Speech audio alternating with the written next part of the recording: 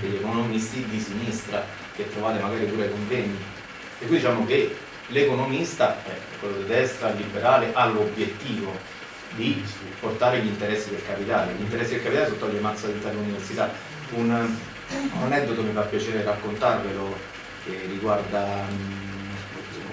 non, non era Roloff, è un altro che ha preso il Nobel per l'economia recentemente, un Prescott. Io ho fatto la tesi di dottorato con un marxista mascherato che nel frattempo, quando c'aveva la maschera, stava negli Stati Uniti a fare il, il, il dottorato. E riuscì a prendere questo articolo di Prescott e, e Prescott stesso gli aveva detto guarda mi, ha, mi, hanno chiesto di fare un articolo in cui io dimostro che ehm, i sindacati all'interno delle imprese abbassano la produttività e mi hanno detto che se faccio questo articolo, questo paper, lo chiamiamo noi, cioè abbiamo questa terminologia strana, eh, becco Nobel. Il mio amico l'ha letto ed era immediatamente criticato prima che uscisse.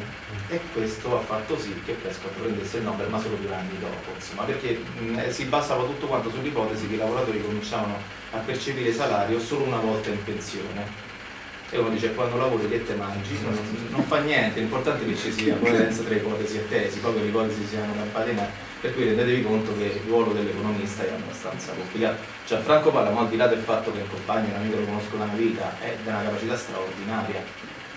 Cioè, quando loro erano giovani nel gruppo degli economisti che stavano alla Sapienza, era evidentemente quello più intelligente, lo dicono pure caffè, mi diceva lui. Però evidentemente quando ha toccato Marx è rimasto scottato. E quindi chi sosteneva altre teorie è andato avanti, ha fatto carriera e gli altri vengono messi nell'ambito. Io per ora riesco a fare questo, lo dico sempre perché ho la copertura del Banca Mondiale mi hanno chiamato a lavorare lì, dei compagni, un altro compagno di Milano che è stato in fondazione diversi anni fa e quindi ho la copertura politica, a me nessuno mi può venire di niente, nel senso che lavori Banca Mondiale, marxista, li spiazzo abbastanza per cui va tutto bene. Però altrimenti ero stato estromesso dall'università per questa ragione. Perché marxista non, non lo nessuno non l'università è una questione ideologica e politica fondamentalmente